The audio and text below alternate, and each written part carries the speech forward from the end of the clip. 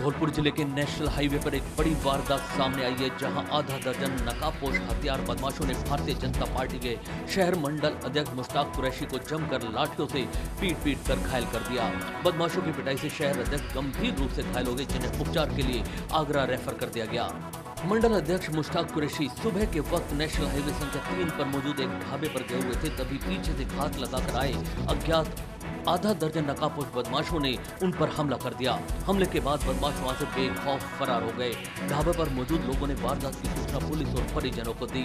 यह सारी घटना सीसीटीवी कैमरे में कैद हो गई। मौके पर पहुँची पुलिस ने घायल को जिला अस्पताल में भर्ती कराया, जहाँ से गंभीर हालत होने पर धौलपुर से नज़दीक आगरा ज़िले में रेफर कर दिया। पुलिस ने शहर अध्यक्ष का पर्चा बयान लेकर मामला दर्ज कर आरोपियों की तलाश शुरू कर दी है। वहीं मामले की गंभीरता को देखते हुए एसपी केसर सिंह शेखावत ने पुलिस टीम गठित कर जल्द से जल्द आरोपियों को गिरफ़्तार करने के निर्देश दिए। एसपी द्वारा मिले निर्देश के बाद पुलिस ने एक आरोपी को राउंड अप भी कर लिया है, जिससे पुलिस पूछताछ कर रही है। वहीं अन्य आरोपियों की तलाश में पुलिस जगह जगह देर रात तक दबिश देती रही। वहीं शहर मंडल अध्यक्ष मुश्ताक कुरैशी के साथ हुई घटना को लेकर क्षेत्रीय सांसद डॉक्टर मनोज राजौरिया सहित भाजपा पदाधिकारियों ने निंदा जताते हुए आरोपियों को जल्द गिरफ़्तार करने और कठोर कार्यवाही करने की मांग की है। साथ ही कार्यवाही नहीं होने पर राज्य सरकार के खिलाफ आंदोलन की चेतावनी दी है। सुबह धौलपुर में एसपी और कलेक्टर ऑफ़िस के नज़दीक पाँच बजे सुबह भारतीय जनता पार्टी के मंडल अध्यक्ष मुश्ताक कुरैशी पर कुछ नकाबपोश बदमाशों द्वारा जानलेवा हमला किया गया। ये जानकारी, ये वीडियो मुझे अभी मिला। इसके लिए मैंने अभी एसपी धौलपुर से बात की है।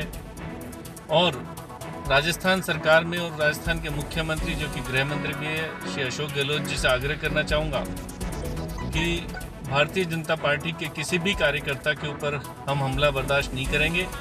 तुरंत प्रशासन को सख्त निर्देश दें कि उन अपराधियों को गिरफ़्तार करें और न्याय की व्यवस्था करें। अन्य, अन्यथा भारतीय जनता पार्टी के सब कार्यकर्ताओं को मजबूरन सड़कों पर आकर आंदोलन करना पड़ेगा। इस राजस्थान के अंदर कानून व्यवस्था बिगड़ती जा रही है। माननीय मुख्यमंत्री जी, मेरा आपसे आग्रह है कि अब अति गंभीरता का सब विषय हो गया।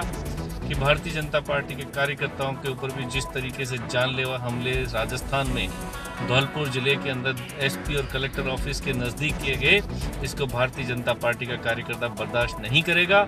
आपको आग्रह करते हैं, समय देते हैं कि जल्द से जल्द अपराधी को गिरफ़्तार कीजिए, नहीं तो हमको बहुत प्रभावशाली तरीके से न्याय के लिए राजस्थान की सड़कों पर आना पड़ेगा।